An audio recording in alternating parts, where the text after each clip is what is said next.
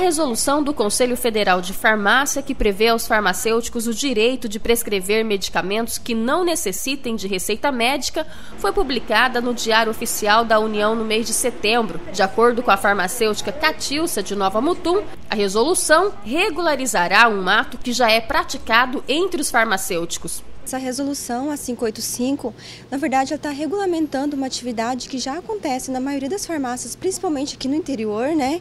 Devido à falta de médicos, à, dificuldade das pessoas irem num postinho, enfrentarem uma fila, né? Então as pessoas já estão acostumadas a vir na farmácia e pedir orientação farmacêutica, né? Porém, ela é muito limitada. São apenas alguns medicamentos que são os analgésicos e alguns fitoterápicos que estão liberados agora para prescrição farmacêutica.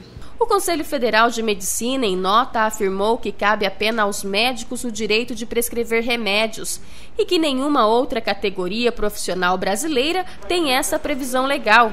Diante da polêmica, a farmacêutica defende sua categoria, ressaltando que durante o curso, assim como os médicos, eles também recebem estudos que os capacitam para tal ato. O farmacêutico ele tem estuda muito, muitas matérias, patologia, é, fisiologia, microbiologia, então conhece, tem uma área muito ampla. Ah, então a gente está preparado para alguns é, medicamentos, algumas pequenas patologias. E claro, quando não tiver nosso alcance, a gente vai indicar um médico, um especialista né, na área. Agora, o Conselho Federal de Medicina e Farmácia se enfrentam, cada um defendendo o que acreditam ser seu por direito. O Grupo Arinos de Comunicação, Comunicação leva todos os dias até você o melhor do jornalismo. Seriedade e competência é a marca do Grupo Arinos de Comunicação. Entretenimento, alegria e diversão.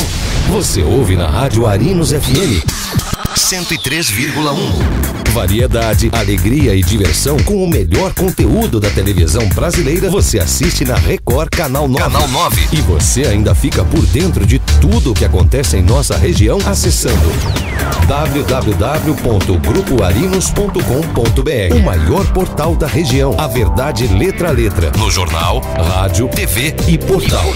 Todos juntos levando informação de qualidade até você. Até você.